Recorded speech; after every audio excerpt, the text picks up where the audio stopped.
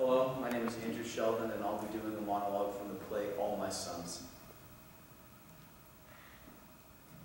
Dad, you did it. You did it to the others.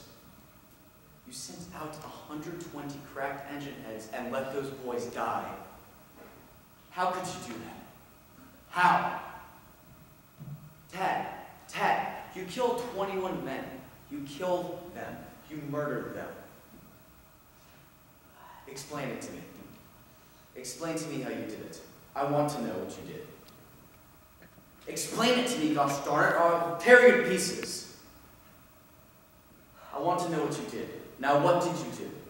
You had 120 cracked engine heads. Now, what did you do? If you knew they were cracked, then why did you why didn't you tell them to not send them out? You knew they wouldn't hold up in the air. You knew those planes would come crashing down. Were you even going to tell them, warn them, not to use them? Why did you even let them out of the factory in the first place?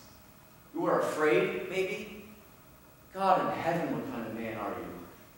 Boys were hanging in the air by those heads, and you just stood by and let it happen. You did it for me. You, wanted to save the business for me. Where do you live? Where do you even come from?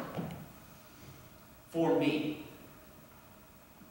For me, I was living up, I was dying up there, and you were killing my boys, and you did it for me.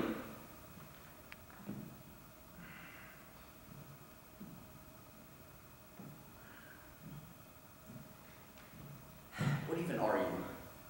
You're not even an animal. No animal kills his own.